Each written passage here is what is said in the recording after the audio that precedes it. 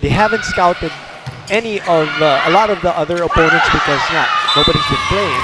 So the strategy is to concentrate on themselves first. So with that in mind, what are you looking for in this coverage of opening day for your Premier Volleyball League, the first professional league in the Philippines? That would have been a legal. Well, actually, it was a legal hit. Combination play and a gaping hole at the back. How many? 14. Banaga continues to serve. Sapete receives. Phillips in the middle. Easy pickings for Creamline. Nice block there by Reyes. Valdez tries to go for a faster attack. This one opens up. Phillips unable to keep it in play. That is the first bomb, I think, for the game for many-time MVP Alyssa Valdez. Near their training center so that she, they don't have to go far to go back and forth through their uh, their uh, training bubble. which is very critical at, at this point. 2015 is our score. Probably the biggest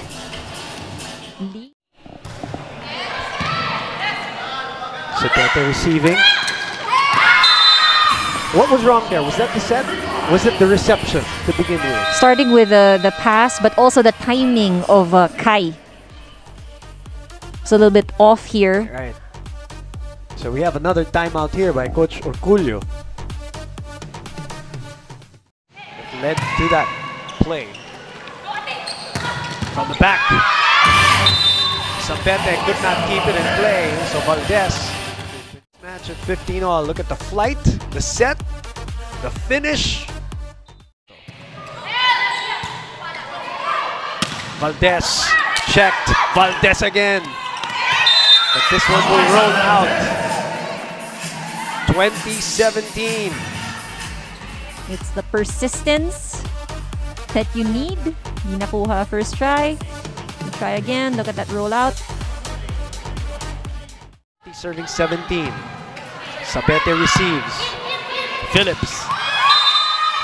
Basang-basa. no? Basang-basa because you see that the you know first first um, problem that they have really is the pass and uh, Cheng would have to find a way you know just to set it up pero From uh, the PCV Social Civic and Cultural Center in Bacarra, Ilocos Norte. Magandang gabi, Pilipinas. Boom Gonzales and Remulla Kanda. Aitin Sai, by the way, who is the only uh, on-cam talent there uh, in the venue. With see if they can Yeah, right now, it's 3-0 though. Phillips. Go to the other side. Valdez. Phillips will keep it in play. So that's an easy over. 3-0 for Creamline. They go to Alyssa in the middle and she puts it away.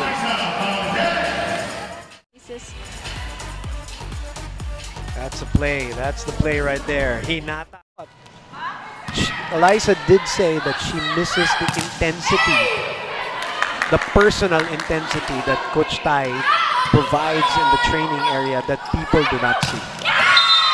Well, of course, everything is very different. The players, the coaches, you know, in this setup of, uh, you know, in the pandemic, there's a lot of adjustment that needs to be made. But I'm pretty sure, because si Coach Tai, ganun siya, diba? So much effort. Sabi ko nga 10 times better, no? Sabi niya 10 times worse.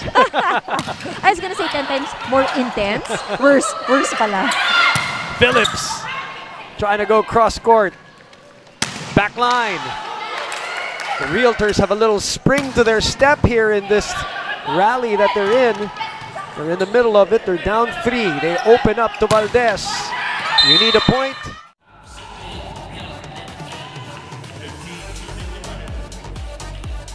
Just could not handle it. Mika Reyes. Never play, yes. You know, you were speaking of um, Phillips being a bit casual or parang medyo relaxer. You know, another player on the side of the Lady Realtors who's like that is Cheng. If you would recall, Ever every smashers from, you know, getting in more points. Reyes and Troncoso complete the six. Still alive. Chance ball. Creamline will go to the number one option. And why not? That uh, they need to tighten in the back row.